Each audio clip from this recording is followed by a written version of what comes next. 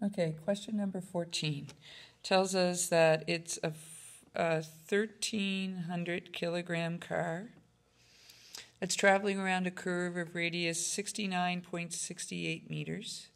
So where are 69.68 meters? Which is perfectly banked for a speed of 14 meters per second. So V1, 14 meters per second.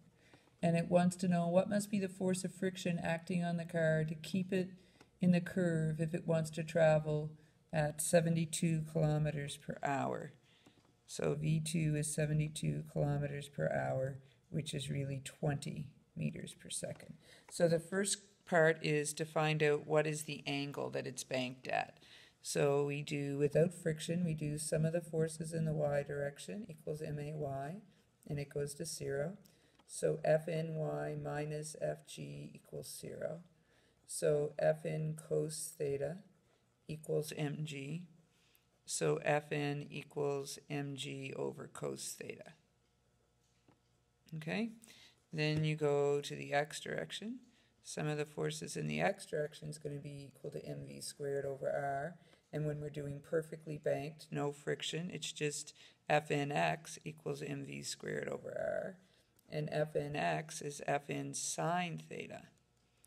And now where the Fn is, you're going to sub in mg cos theta. So it becomes mg sine theta over cos theta is equal to mv squared over r. The m's cancel. The sine over cos becomes tan. Take g, divide both sides by g, so v squared over gr. So v was 14. So 14 meters per second that you're going to square divided by 9.81 meters per second squared times 69.68 oops meters. Do the math which I did not do beforehand. Divide by what was it 69.68 and then do inverse tan and you get I was aiming for I would say by the look of that answer 16 degrees 15 with three nines, I, you can round to 16. So now that we know the angle, now we're going to add in friction. And friction will be acting this way. It will have a component in the x, friction x, and a component in the y, friction y. We start again with sum of the forces in the y equal to may, which of course is going to be 0. And so it'll be fny going up minus friction going down in the y minus fg equals 0. So this time, because we're solving for friction, don't break your friction up into mu fn. So it'll be fn cos theta minus friction sine theta minus mg equals 0. Solve, rearrange for fn. So friction sine theta plus mg over cos theta is your Fn. And now go to the x direction.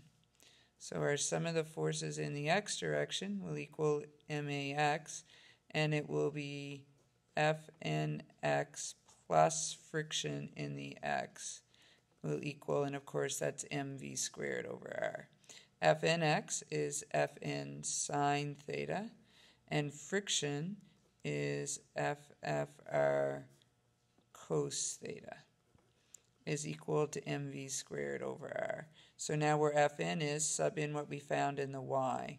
So friction times sine theta plus mg over cos theta. And all of this gets multiplied by sine theta plus friction cos theta is equal to mv squared over r.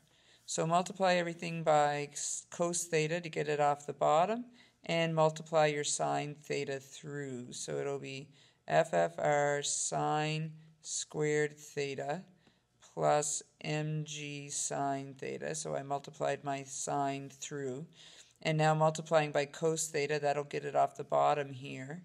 In the next term, it'll become friction times cos squared theta, and that will equal mv squared over r. And don't forget you have to multiply this by cos theta as well.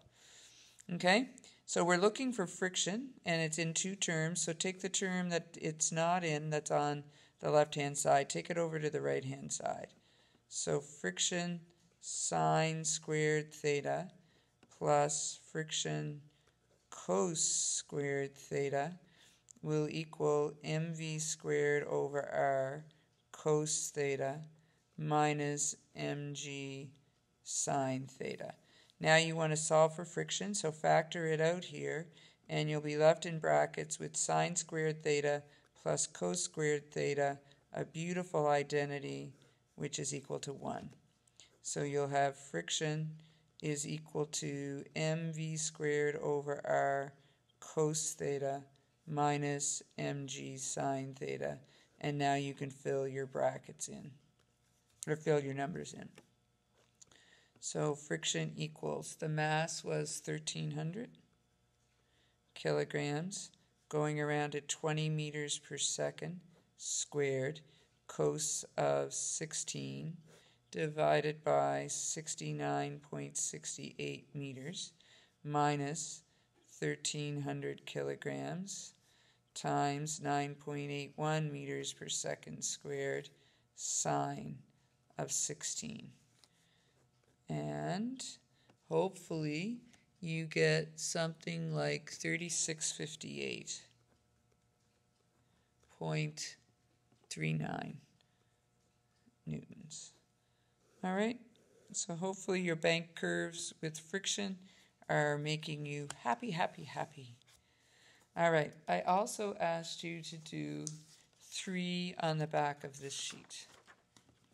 So we might be able to get number one done before we run out of time. So number one, a roller coaster is built so there's a circular curve of radius 80 meters at the top of one hill. It's not a loop, it's a hill, okay? Which means you're going over it right side up, okay? Radius is 80 meters. The speed with which the car goes over the hill can vary. The passenger has a mass of 50 kilograms. So 50 kgs. If this, so in part A, it's telling us that the speed is 20 meters per second and it wants to know what is the force on the passenger. So if we look at the forces acting on this person sitting straight up, sitting upright, Fg going down, and the force of the seat, the normal force acting up.